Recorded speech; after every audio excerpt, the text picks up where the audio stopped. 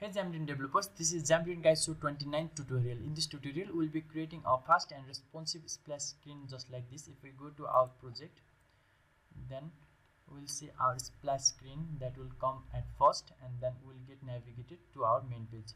So in order to create such type of projects, go to file new and then project then select cross platform as we are doing cross platform app for our Android project and then select a name as you like and then click on ok after that you can select any project that is portable as well as shared project. In Xamarin Forms we'll be basically talking about root project rather than project that are targeting both Android as well as iOS. So inside our app.xaml we have two parts they are XAML part as well as .cs part. Here main page is a placeholder which contains the page to be loaded. We can give any name to the label text as you like. I'll be in my main page state okay now let us create a new splash screen activity inside our android project. This is my splash activity. And we have to create it by going to add new item and then select activity and then give as splash activity cs. In order to save my time i'll drag and drop my simple line of codes and i'll try to explain it an activity class means that it generates an activity element within an Android manifest.xaml. In order to implement this activity element, we have to inherit a theme from themes.splash that will be placed inside our styles.xaml that is our resources folder.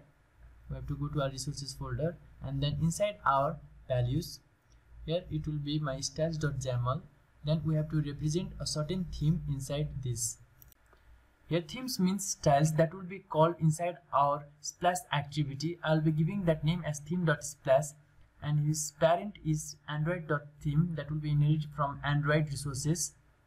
Here I'll be placing my splash screen inside my style so that I'll call that splash screen from my drawable folder of android project that will be placed over here. After using a naming convention as theme.splash, we'll be calling this style inside our splash activity. Now let us go to our splash activity.cs. Here main launcher is equals to true means that our page will be loaded at first from here and no history is equals to true means that no history will be remaining back and I'll be giving that icon image from here only as drawable slash scc. After this activity gets invoked then I have to pass this activity towards my main activity.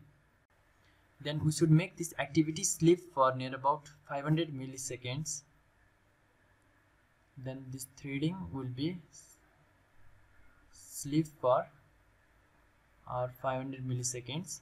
Then we'll pass this activity towards our main activity by type of and then main activity. That's all.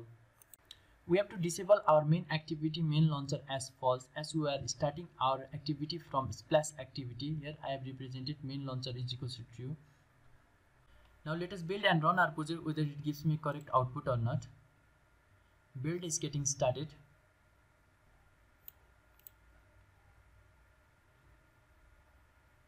Then it should show me a correct output as you can see over here. And then it should uh, let me to go to my main page. Okay, we got our expected output. That's all. Thank you guys. Thanks for watching. Keep in touch for next tutorials.